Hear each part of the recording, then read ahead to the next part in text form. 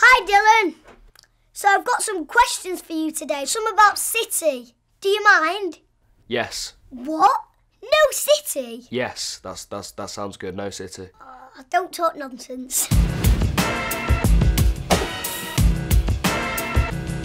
When did you know that football and acting was for you? I, I don't think there was necessarily a specific sort of one moment. It's been very much a gradual sort of thing. I've been playing football since I was two, and I've been acting, well, since about that age as well. You know, doing impressions and this sort of thing, accents, and obviously I've always played football, so sort of every every day I grow to sort of love acting more, and every time I step on a pitch, I love football more. Give us an accent then. Um, well, I'm alright to Brummer, I could do a decent Brummy accent, but it's just down the road, so it's quite easy. But it's quite natural to me, really, Brummer. And then I'm alright, Scouse, you know what I mean? Like, do decent Scouse accents, you know, my name's Stephen, I'm from Liverpool, that sort of thing, you know what I mean? Well, I'm a Mancunian. Can you do that? Yeah, alright, mate, I'm from Manchester, you know what I mean? Louis Dunn from Manchester, you know what I mean? Talking like this, you know what I mean?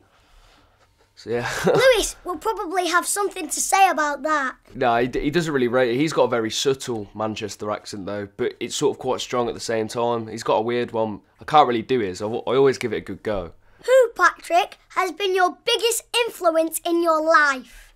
Well, a lot of people have helped me along the way. I don't know if I could just pick one. Obviously, my parents have been big influences. My dad's a big United fan. I'm a big United fan. Big football fans.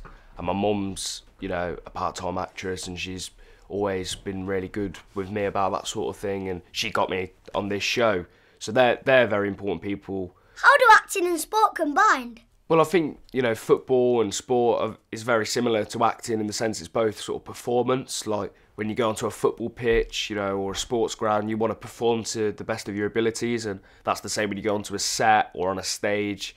So yeah, I think they're similar in that sort of way. What excites you about both of them? in football, you know, playing playing for my team on a Saturday and a Sunday, I, when you score a goal, it's a very similar feeling to like maybe when you're on a stage and the audience cheers, or when you're you're on a set and you complete a really hard scene.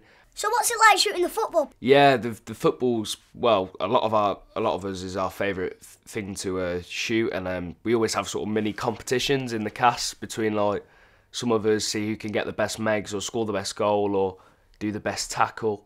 So yeah, it, it's that's one of the funnest things to do, and we love just sort of playing football. So the fact that we get to do that is really cool. So how do you shoot the football? Well, we shoot the football in uh, quite a few different ways. It's I'd say probably one of the most difficult things to shoot, but usually we have a, a, track running along the side of the pitch with a camera on, so that's always moving and trying to pick up different things. So they might be needing a, a look from Dillon to Jeffro or a goal or an assist or something like that. So that's always picking those moments up. How good do you think you are at football, Patrick? And what about the rest of the cast? Yeah, yeah, we're all we all like to think we can play. We're all uh, sort of comfortable at playing, and we all love playing. So. Oh come on, you're really good. Hey, I I don't want to say who's the best. You know, that's that's not for me to decide. So who's the best? I, I I'm not going to say myself. I'm never going to say myself. Come on.